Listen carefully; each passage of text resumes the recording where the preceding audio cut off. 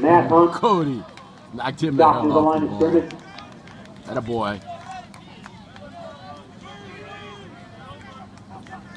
Zach Dickman made that tackle for Mount St. Joseph.